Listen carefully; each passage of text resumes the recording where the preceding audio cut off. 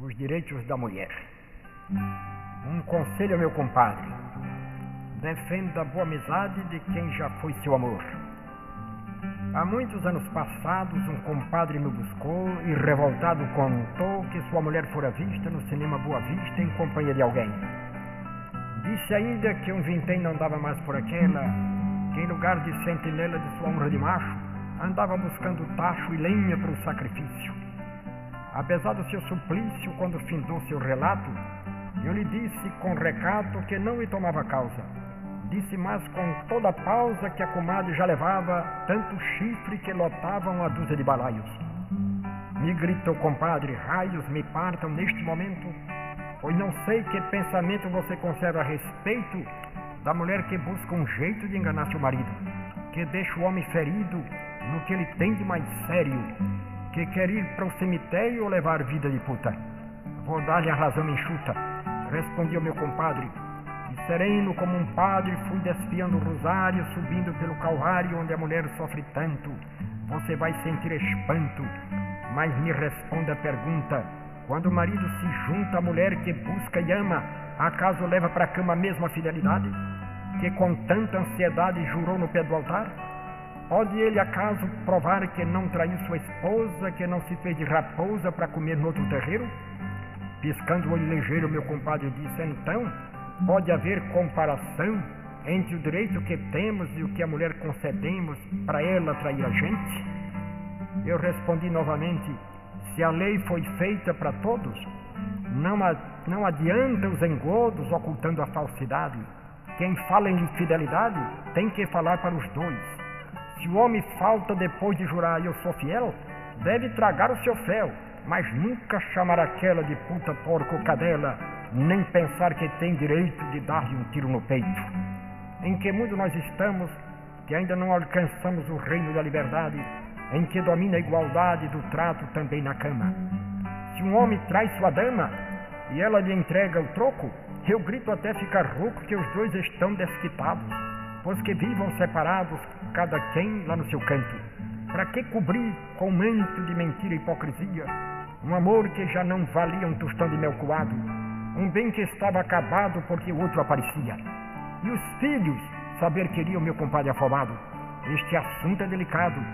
Eu reconheço e declaro, é preciso ter bom faro para tratar dessa questão, onde entra o coração de pai e mãe desunidos os filhos são esquecidos pelo, pelo egoísmo dos pais, porque não foram leais nem se mostraram capazes de entender as duas fases da formação do seu lar.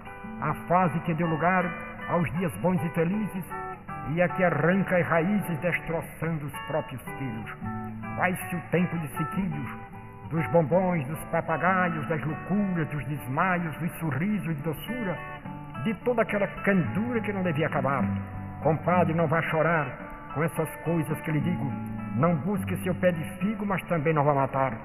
Busque a via salutar, que é a salvação dos meninos. Venham a mim os pequeninos, são palavras de Jesus. Ajude a levar a cruz, como bom samaritano. Não é justo nem humano que você, só por maldade, deixe os filhos na orfandade e deixe a mãe sem direito de procurar no outro leito o amor que não lhe coube ou que você nunca soube defender e preservar para você conservar o respeito das crianças e não se ferir nas lanças desses olhos inocentes. Não fique de bofes, bofes quentes, aprenda a ser tolerante. Fazer da mulher amante e ser por ela adorado é coisa de aprendizado, de passarinho e de flor, de cheiro, sabor e cor, de riso e sinceridade. Defenda a boa amizade de quem já foi seu amor. Mantenha sempre o calor do coração da mulher. Deixe de ser um qualquer para que ela lhe, guarde um lugarzinho onde arde o fogo da gratidão. Mulher é filha de Adão, mas você vem do macaco. Queime depressa no caco seu passado troglodita. Grave tudo numa fita e guarde para ouvir depois. Se possível com os dois, se tratando como amigos. Recorde os dias antigos de vida, faça o outono. Durma depois o bom sono, que dormir faz muito bem. Compadre, aqui você tem uma receita de amor para vencer sem rancor as maldades deste mundo. Estou com as damas de Minas, porque são a consciência de uma nação humilhada. Quero agora ir mais ao fundo dos direitos femininos. Vou mandar tocar os sinos para festejar esse centro que nasceu ali bem dentro do coração do Brasil. De quinhentas façam mil e de mil façam milhões para vencer esses varões com seu machismo feroz. Levanto aqui minha voz e falo a Belo Horizonte. Meu nome também é Ponte. Estou com vocês, mulheres que são como bem me queres entre tanta violência, vocês são a consciência de uma nação humilhada. Quem mata a mulher amada, mata nela muitas vidas. Também mata as margaridas, mata as mães e mata as filhas. Já basta de fazer pilha de tanta flor brasileira. Se Minas foi a bandeira de nossa libertação, Minas agora é a mão que toma um novo estandarte o Norte quer fazer parte dessa luta generosa, quer dar um botão de rosa porque lá também se mata a mulher que não acata a decisão do marido, que se põe enfurecido quando ela exige igualdade perante a sociedade. Assim como o macho tem as chaves que lhe convém para abrir todas as portas e pular todas as hortas em busca da perdição das meninas em botão, assim também a mulher deve meter a colher no guisado que cozinha deve buscar a vizinha fazer um grupo de base antes que o macho lhe arrase esses direitos humanos, que são como aquele pano de uma coxa de retalho, antes que ele caia o maio e as balas assassinas, como as balas que em Minas, em São Paulo e outros Brasis fuzilam como os fuzis, numa guerra em que a esposa é tida por mariposa que voa pelos bordéis. É hora de pôr os pés a caminhar pelo mundo, de dizer a Raimundo que a impunidade acabou, que a sujeição terminou, que findou a paciência. Não é preciso ciência para explicar os delitos que é produto dos conflitos de uma educação errada. Não há moral, não há nada que justifique esse crime. Se o macho não se reprime e mata a mulher amada de punhal, bala ou facada, merece o maior desprezo, deve ser punido e preso sem qualquer contemplação. Alegar forte emoção por ter a honra ultrajada merece uma gargalhada como a de Pantagruel. É ironia cruel que nos dias atuais o macho se põe atrás da fêmea que já não ama e para manter a fama tome a pistola e dispare, encontre quem lhe ampare e dê sentença a favor. Até quando tanto horror, tanto sangue derramado, tanto filho abandonado, vivendo um drama sem fim, vendo no pai um Caim e ao mesmo tempo um Abel? Ele punha muita fé nas coisas que eu lhe dizia. Vou findar este painel narrando aqui a história que conservo na memória dos meus tempos de prisão. Vou fazer a citação de José, que era soldado. Entre mim e este estimado bombeiro da companhia, nasceu uma tal simpatia que se fez logo amizade. Por isso eu sinto saudade até hoje de José. Ele punha muita fé nas coisas que eu lhe dizia tanto assim que certo dia, notando que estava triste, indaguei: Será que existe alguma coisa doendo? Algo que lhe está roendo aí por dentro, José? O homem se pôs de pé e confessou que existia. A mulher que ele queria estava pondo-lhe os cornos. Sem usar de panos mornos, assim falei ao soldado: Me diga se estou errado, ou se a verdade ilumina, a palavra que ensina onde meter bem o pé. Consulte a razão, José antes de bater no peito, pois um homem de respeito deve ter firmes os pulsos, dominar os seus impulsos, não cair numa esparrela. Você gostava, você gosta mesmo dela? Ela é a minha adoração, manda no meu coração, foi a resposta sincera. Mas ela não lhe venera, não lhe ama, não lhe quer. Vou matar essa mulher. Não suporto mais a dor. Quando a vejo, mudo a cor. Me treme a mão na pistola, me desce o sangue para a sola quase gelada dos pés. Chego a contar até dez para não perder o tino e dar a ela o destino que merece a traição. Escute agora a razão que eu tenho para evitar que você venha matar a mulher que não lhe ama e vai deitar noutra cama. Se eu fosse você, José, e tivesse a sua fé, deixava em paz essa dama e apagava essa chama que lhe consome por dentro. Fazia força no centro da razão e do juízo. Calculava o prejuízo que essa morte me traria. Assim permaneceria até não mais vacilar. Pois se eu quisesse matar alguém a quem me adorasse, buscaria a que me amasse e nunca que não me quer. José não moveu sequer um dedo de sua mão. Eu percebi que a razão começava a dominá-lo, que ia fazer um calo dentro de seu coração. Finalmente disse: Irmão, permita que eu chame assim. Eu tinha lei de Caim ao chegar a esta cela. Eu vou queimar minha vela no altar de quem me ama. Extinguiu-se assim a chama que devorava José, quando ele se pôs de pé e apertou minha mão. Nem sombra de tentação existia no seu rosto.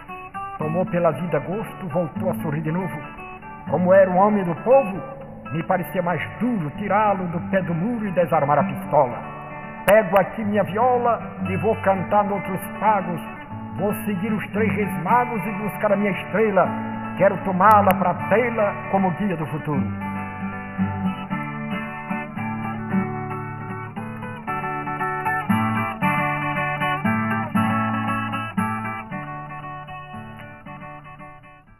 O sindicato é a estrela. Em Pernambuco nasceu a primeira sociedade como fruto da unidade dos camponeses sem terra, sem apelar para a guerra, mas para a legislação.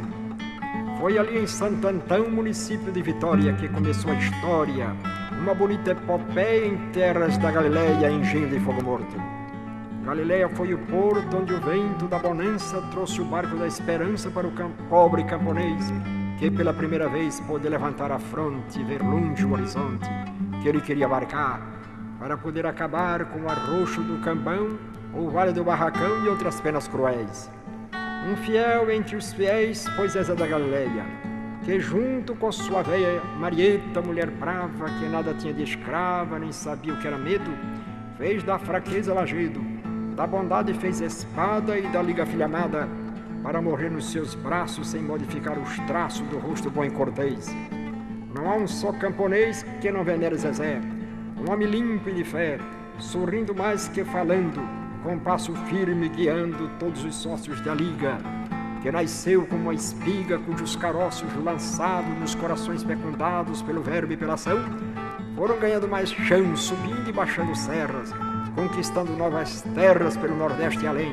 A Liga queria o bem de todo camponês pobre, sua intenção era nobre, como nobre era o seu fim. José, Maria, Joaquim, Antônio, Rosa, Manuel, fosse quem fosse fiel a qualquer religião, era chamado de irmão e como irmão respeitado. Branco, preto, amulatado, bastava não ter a terra ou viver num pé de serra trabalhando no alugado, permanecer condenado como um judeu pelo mundo. A Liga buscou o fundo da miséria do Nordeste quis acabar com a peste denominada cambão, herança da escravidão que aqui mesmo em Pernambuco, na voz de Joaquim Nabuco, teve a sua maldição. Um grito de salvação foi o que a Liga quis dar para poder libertar os escravos que sobraram e que depois aumentaram apesar da abolição. Pois faça a comparação com o que existe hoje em dia, com os milhões de boias frias sem lar, sem terra e sem pão, na terra da promissão. A Liga hoje é história e pode contar vitória, já que foi dessas entranhas, apesar de tantas manhas, que nasceu o sindicato. Eu não falo com recato, pois disso eu não gosto não.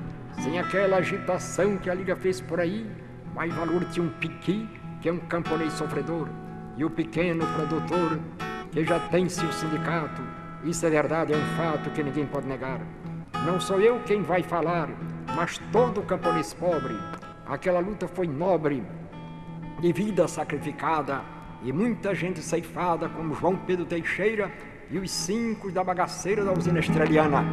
Tributo prestado à cana que faz o pobre mais pobre, pois acaba sem um cobre para comprar um mucambo, feito um fantasma um mulambo, pedindo esmola na feira. A liga foi comieira, foi abrigo contra o vento, mas foi também sofrimento, foi desventura e foi morte quem dela escapou por sorte deve entrar no sindicato, que é de lei e é de fato o seu filho predileto, que não nasceu por decreto, mas das entranhas da liga, com a mão fazendo figa para espantar mal olhado. Pois assim, bem amparado, o sindicato respira, seu corpo já se estira pelos rincões do Brasil. Existe mais de seis mil caminhando para chegar. É necessário ajudar o seu desenvolvimento pôr a sua vela ao vento para fazê-lo avançar, pois quanto mais navegar, mais horizonte na barca. O sindicato é a arca que guarda sua esperança, É sua ponta de lança, seu fuzil e seu bornal. É seu açúcar e seu sal. É sua luz no caminho. Não vá para ele sozinho, leve também o seu filho. Quando você planta o milho, não planta só um caroço. O sindicato é o moço que aprecia a boa festa. Junte tudo o que lhe resta, o pai, a mãe, a mulher, e convide o que houver ao derredor de seus tábuos, faça como os três magos acompanhando a estrela. Você também deve vê-la, seguir a rota final. Não fique aí no sisal, tão pensativo esperando, com a ventania soprando as cinzas do seu tição. Tome logo a decisão, ingresse no sindicato, depois de limpar o mato, que é a primeira obrigação.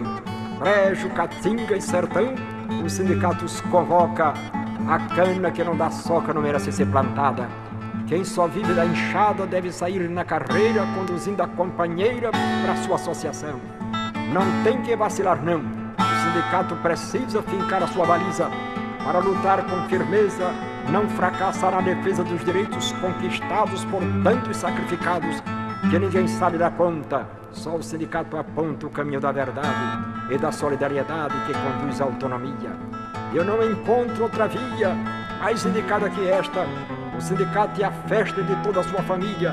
Merece bem uma milha do Papa que vem de Roma para dizer como se soma um milhão contra um milhão e explicar a razão porque ficou com os pobres e seus sentimentos nobres ali bem perto no coque invocando o bom São Roque, São Francisco e outros santos, para enxugar com seus mantos as lágrimas todas que correm enquanto os pobres não morrem consumidos pela fome. Pois no Brasil só quem come, até ter o bucho cheio, é o que assalto alheio faz muita especulação e se diz até cristão, desmentindo os bons profetas que só dispararam setas contra o peito do burguês. Cristo não quis e não fez senão dizer que um dia se acabaria a agonia da pobreza sobre a terra.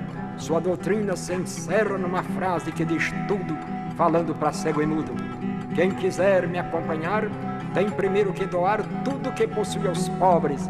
Com essas palavras nobres se resume a fé cristã. Tudo mais é coisa vã, hipocrisia e mentira, nesse mundo que ainda gira sem saber até nem quando. Já ninguém suporta o bando que não quer com o pobre trato. Por isso é que o sindicato deve ser o seu caminho. Vá para ele direitinho se quer melhorar de vida. O sindicato se lida, eu digo e bato no peito, pelo seu maior direito, que é conseguir mais salário, evitar o seu calvário, sua morte e perdição. Para fazer o mutirão é preciso muita gente. O sindicato é corrente que não se deve partir, para poder resistir ao inimigo que é forte venha do sul ou do norte, você tem que defender e lutar até morrer por uma democracia que dê toda a autonomia à vida do sindicato. Não tenho o menor recato de ser firme nesse ponto. Não seja burro nem tonto, lute pela autonomia. Faça dela a estrela guia de sua vida lá dentro. Seja a coluna e o centro de sua associação. Diga sempre não e não a quem quiser se meter para ensinar a fazer o que você já faz bem. Pois eu lhe pergunto: quem melhor do que você sabe é escolher o que lhe cabe como direito e dever? Fique certo que o poder emana de suas mãos. Junte todos os seus irmãos de pobreza e sofrimento. Mantenha o só pensamento que a força vem da união. Pise firme no seu chão, não se deixe confundir. Quanto mais você se unir ao companheiro de luta, desaparece a disputa e se afirma o seu grêmio. Esse é o seu grande prêmio, a sua ressurreição. Autonomia e união são palavras tão formosas como dois botões de rosas colhidos por uma mão. O sindicato é o pão que junta todos na mesa. Dele depende a grandeza e o futuro do Brasil, pois não é só o fuzil que defende uma nação. É preciso ter razão para que o povo obedeça. Crescer, eu quero que cresça o sindicato rural, como cresce o milharal quando o inverno não falha. Ponha para fora o canalha que combate o sindicato. Tome a foice e limpe o mato não perca mais um minuto. Ainda hoje eu escuto o grito que deu a liga, que foi sempre sua amiga e quis sua salvação. Prepare o seu coração e a consciência também. Venha dançar um xerém na sede do sindicato, com alegria e recato, pois é aqui seu lugar. A sua casa, o seu lar, sua escola e seu abrigo. O sindicato é um amigo do pobre que não tem terra, que vive num pé de serra sem esperança e sem pão. Havendo mais união, entre a massa camponesa será mais fácil a defesa dos direitos conquistados quando lhe forem negados por abuso do patrão. Não vale estender a mão para pegar na urtiga. Olhe para frente e me diga se estou certo ou estou errado, se o meu papo está furado ou se defendo a verdade. Não espere a caridade nem vá mendigar esmola, mas tome a sua viola, o agarre o seu pandeiro e diga para o mundo inteiro que o tempo agora é de luta. Que o sindicato é a fruta que ele pode alimentar. Não pense em desanimar, porque um Judas qualquer anda dizendo que quer dar um beijo no seu rosto.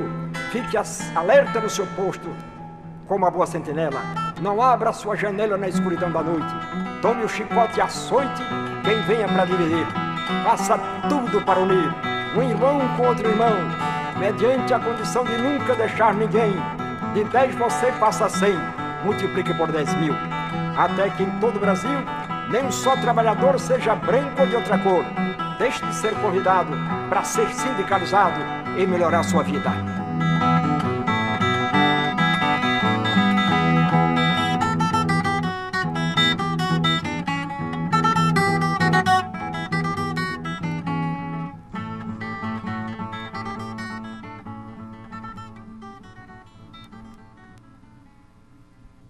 Porque sou nacionalista. Ali por 1500 foi quando o Brasil nasceu. Dizem que isso se deu porque Cabral não seguiu as instruções que ouviu de Dom Manuel de Lisboa.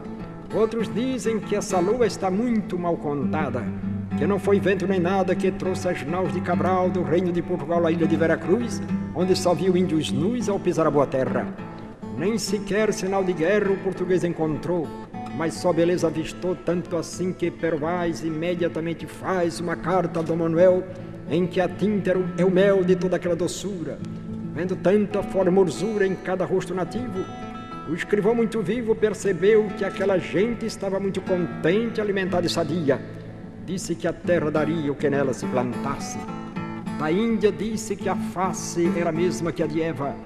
Do índio disse que leva nobreza e dignidade. Eu, por amor à verdade, digo que esse lusitano tomou do mais fino pano para vestir o Brasil. Não esqueceu um só tio na sua carta famosa, onde tudo é cor-de-rosa, esperança e inovação.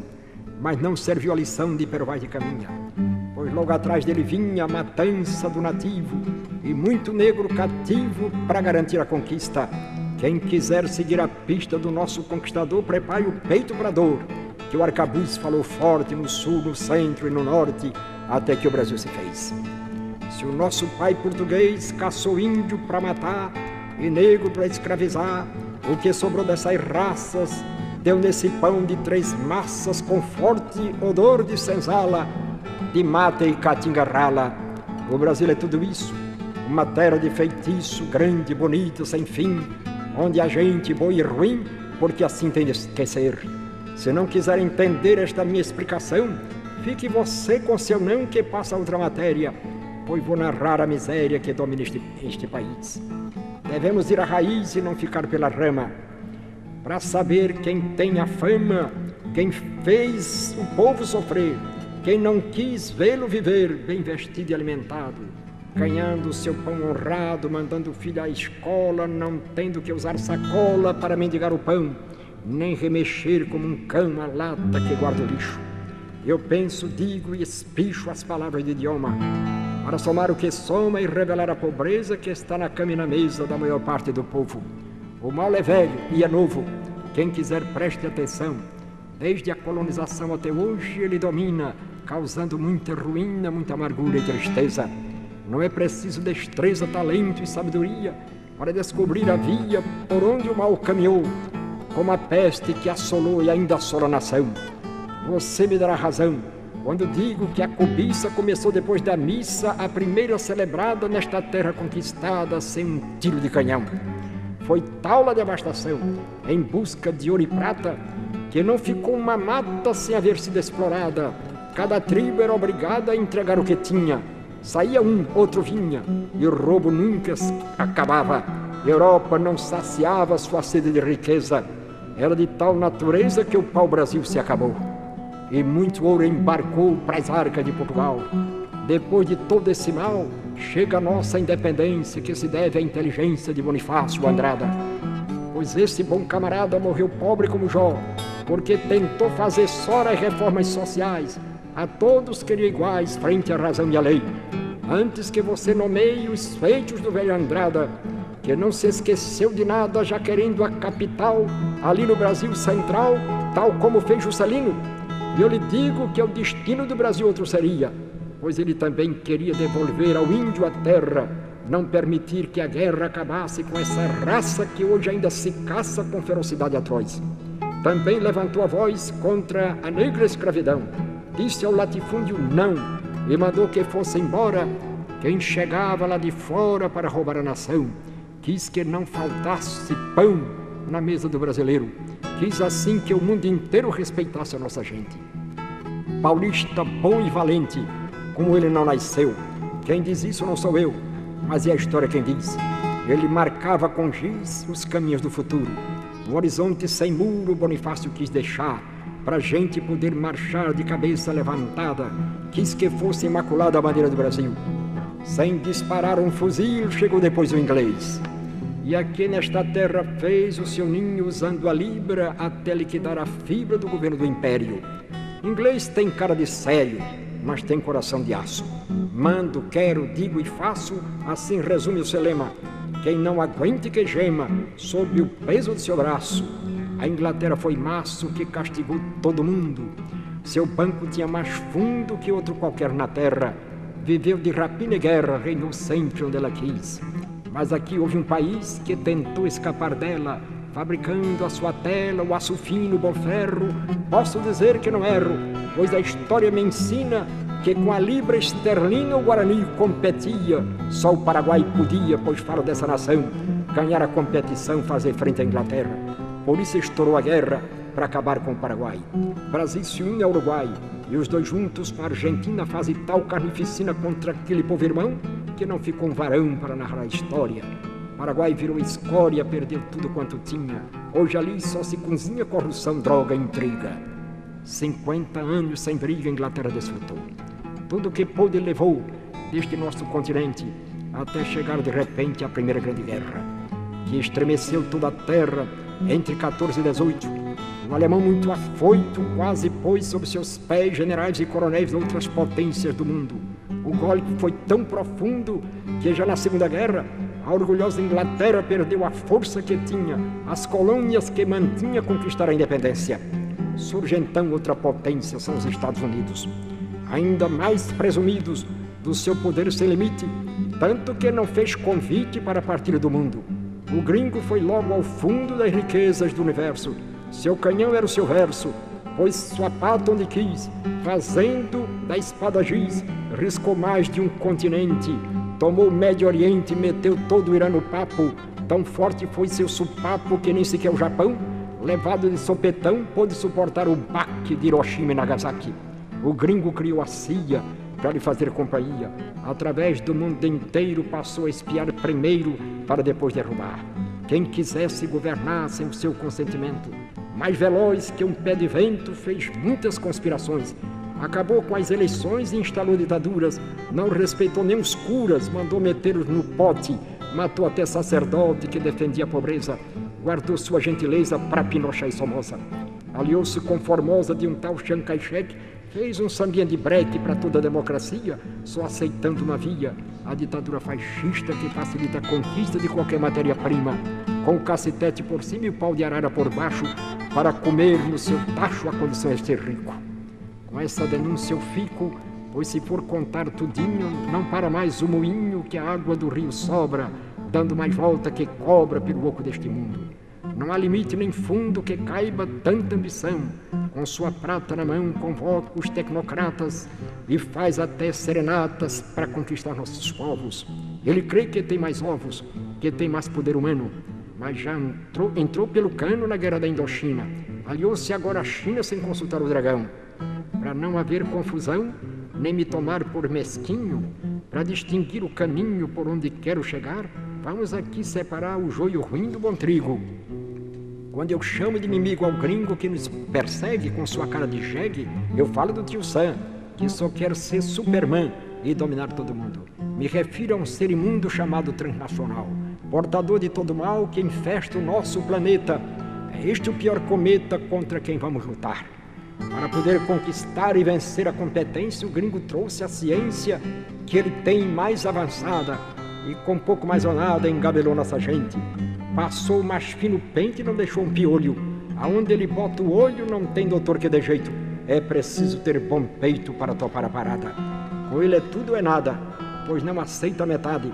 Com seu capital invade, domina, faz e desfaz, quer sempre ganhar demais. Não lhe importa a desgraça do povo, nação ou raça espalhada pela terra. Quem resistir terá guerra, golpe de Estado fascista para manter a conquista de nossas matérias-primas. Não há versos, não há rimas que comovam este bandido que há 30 anos tem sido o carrasco da humanidade, a pior calamidade que já caiu sobre nós. Escute bem minha voz, não cale nem cruze os braços, não vá se enredar nos laços que a transnacional botar, pois ela é como o jaguar que só quer beber seu sangue e afogar você no mangue. Venha da Europa ou Japão, é tudo igual, meu irmão. Tome nota do que digo, siga o caminho que sigo e saberá que não minto. A coisa está no instinto desse animal sem entranhas, que usa todas as manhas para chegar a você, cantando o mesmo ABC nas línguas mais diferentes. Todas elas são parentes, falo das transnacionais, que misturam os capitais, se metem entre nossos povos com sua rede e seus covos para pescar nossas riquezas. Sem qualquer delicadeza, entram na casa da gente, tomam conta de repente do pão, da, do gás, do tempero. Nada importa o desespero de uma nação saqueada.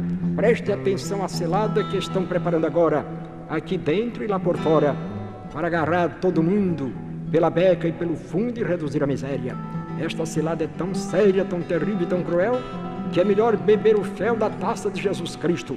Por isso mesmo eu insisto que todo cuidado é pouco, e grito até ficar rouco. O gringo tem tanta manha e tal poder de barganha, que quando prega o seu cravo, um povo tem que ser bravo para sair de sua garra. Com tanta força ele agarra a nossa matéria-prima que fica sempre por cima como urubu na carniça. Para ele só serve a missa em que se adora o dinheiro.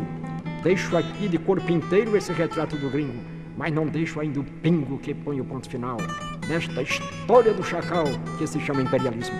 Coveiro de um negro abismo, onde ele enterra nações e de onde tira milhões para ficar mais rico ainda.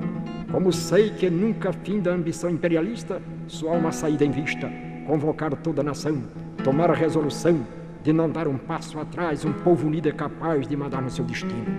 Agora mesmo eu previno que a estratégia americana é dispor de toda a cana e da mandioca também, mas quer ainda ir além, comprar as melhores terras com rios, vales e serras para ser dono do país.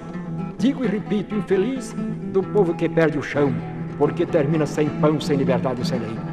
O gringo aqui já é rei, pois manda, faz e desfaz. Embarca o nosso ananás, nosso cacau, nosso trigo, sempre diz que é nosso amigo, mas pisa nos nossos pés. Quem possuir entre 10 e 200 hectares, quem amar estes lugares onde a vida é menos dura, porque há certa fartura e mais vergonha na cara, quem cochila e não prepara o futuro que há de ver, pode amanhã sucumbir e perder a paz, o sossego, ficar à beira do reino sem saber o que fazer. O gringo agora quer ser dono do que a gente come, quer controlar nossa fome através dos alimentos, dobra nossos sentimentos à força do seu império. O gringo não tem critério, para beber nosso café, seja sentado de pé, quer dominar todo mundo. Com esse sistema imundo é senhor do que quiser. Você faça o que fizer, implore, peça e suplique. Se chame João ou Henrique, que o tio Sam não se move do lugar onde promove a sua dominação. Seu sítio não venda não. Não ceda um palmo de terra, senão você se enterra, perde a sua autonomia. E nossa soberania não passará de um trapo. Não fique aí feito um sapo esperando pela brasa. Defenda a terra e a casa que custaram o seu suor. Não há sujeição pior que a que nos vem lá de fora. E eu digo aqui e agora que a nação se deve unir, a fim de não sucumbir sob o domínio estrangeiro. Você não é brasileiro se não for nacionalista.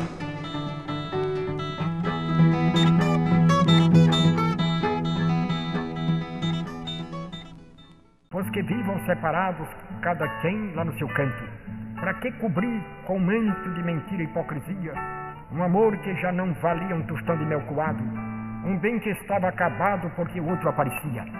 E os filhos Saber queria o meu compadre afobado. Este assunto é delicado. Eu reconheço e declaro, é preciso ter bom faro para tratar dessa questão. Onde entra o coração de pai e mãe desunidos, os filhos são esquecidos pelo, pelo egoísmo dos pais, porque não foram leais nem se mostraram capazes de entender as duas fases da formação do seu lar. A fase que deu lugar aos dias bons e felizes e a que arranca as raízes destroçando os próprios filhos. Vai-se o tempo de sequilhos, dos bombons, dos papagaios, das loucuras, dos desmaios, dos sorrisos de doçura, de toda aquela candura que não devia acabar. Compadre, não vá chorar com essas coisas que lhe digo. Não busque seu pé de figo, mas também não vá matar. Busque a via salutar, que é a salvação dos meninos. Venham a meus pequeninos, são palavras de Jesus. Ajude a levar a você tem uma receita de amor para vencer sem rancor as maldades deste mundo. Estou com as damas de Minas, porque são a consciência de uma nação humilhada. Quero agora ir mais ao fundo dos direitos femininos Vou mandar tocar os sinos para festejar esse centro que nasceu ali bem dentro do coração do Brasil. De quinhentas façam mil e de mil façam milhões para vencer esses varões com seu machismo feroz. Levanto aqui minha voz e falo a Belo Horizonte. Meu nome também é Ponte. Estou com vocês, mulheres, que são como bem me queres entre tanta violência. Vocês são a consciência de uma nação humilhada. Quem mata a mulher amada, mata nela muitas vidas. Também mata as margaridas, mata as mães e mata as filhas. Já basta de fazer pilha de tanta flor brasileira. Se Minas foi a bandeira de nossa libertação, Minas agora é a mão que toma um novo estandarte. O Norte quer fazer parte dessa luta generosa da cruz, como bom samaritano. Não é justo nem humano que você, só por maldade, deixe os filhos na orfandade e deixe a mãe sem direito de procurar no outro leito o amor que não lhe coube ou que você nunca soube defender e preservar. Para você conservar o respeito das crianças e não se ferir nas lanças desses olhos inocentes.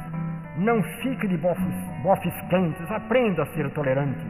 Fazer da mulher amante e ser por ela adorado é coisa de aprendizado, de passarinho de flor, de cheiro, sabor e cor, de riso e sinceridade. Defenda a boa amizade de quem já foi seu amor. Mantenha sempre o calor do coração da mulher. Deixe de ser um qualquer para que ela lhe, lhe guarde um lugarzinho onde arde o fogo da gratidão. Morela é filha de Adão, mas você vem do macaco. Queime depressa no caco seu passado troglodita. Grave tudo numa fita e guarde para ouvir depois. Se possível com os dois, se tratando como amigos. Recorde os dias antigos de vida, faça o outono. Durma depois um bom sono, que dormir faz muito bem. Compadre, aqui você. Os direitos da mulher. Um conselho, meu compadre. Defenda a boa amizade de quem já foi seu amor. Há muitos anos passados, um compadre me buscou e, revoltado, contou que sua mulher fora vista no cinema Boa Vista em companhia de alguém. Disse ainda que um vintém não dava mais por aquela, que em lugar de sentinela de sua honra de macho, andava buscando tacho e lenha para o sacrifício. Apesar do seu suplício, quando findou seu relato, eu lhe disse com recato que não lhe tomava causa. Disse mais com toda a pausa que a comadre já levava tanto chifre que lotava uma dúzia de balaios. Me gritou, compadre, raios me partam neste momento, pois não sei que pensamento você conserva a respeito da mulher que busca um jeito de enganar seu marido, que deixa o homem ferido no que ele tem de mais sério, que quer ir para o cemitério ou levar vida de puta. Vou dar-lhe a razão enxuta, respondi ao meu compadre, sereno como um padre fui desfiando o rosário, subindo pelo calvário onde a mulher sofre tanto. Você vai sentir espanto, mas me responda a pergunta: quando o marido se junta à mulher que busca e ama, acaso leva para a cama a fidelidade? Que com tanta ansiedade jurou no pé do altar? Pode ele acaso provar que não traiu sua esposa, que não se fez de raposa para comer no outro terreiro? Piscando o olho ligeiro, meu compadre disse: Então, pode haver comparação entre o direito que temos e o que a mulher concedemos para ela trair a gente? Eu respondi novamente: Se a lei foi feita para todos, não, não adianta os engodos ocultando a falsidade. Quem fala em infidelidade tem que falar para os dois. Se o homem falta depois de jurar eu sou fiel, deve tragar o seu fel, mas nunca chamar aquela de puta, porco, cadela, nem pensar que tem direito de dar-lhe um tiro no peito. Em que mundo nós estamos que ainda não alcançamos o reino da liberdade, em que domina a igualdade do trato também na cama? Se um homem traz sua dama e ela lhe entrega o troco, eu grito até ficar rouco que os dois estão desquitados.